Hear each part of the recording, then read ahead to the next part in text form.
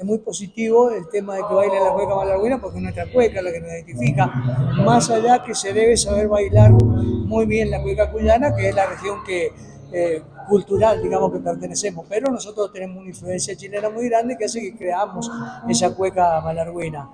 Me parece perfecto, yo lo he visto en filmaciones de cumpleaños de 15, en festejos de 18, en casamientos, en la cueca, la cueca, pero también tengo que hacer un llamado de atención no nos olvidemos del gato.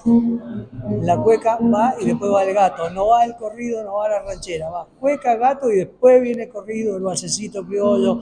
Porque si no parece que pasamos de la cueca al, ímpetu del, agarrado y no es así.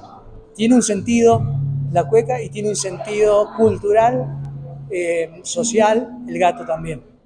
Porque si en la cueca yo trato de impactarla a la niña, trato de conquistarla, en el gato, que es más lento, tengo posibilidades de hablarla en los arrestos. Dicen que las golondrinas, dicen que las golondrinas se pasan la mar volando,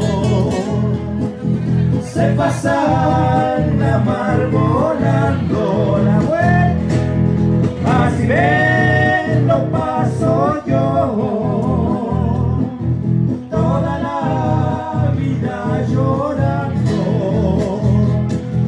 Por el mundo voy de la vuelta.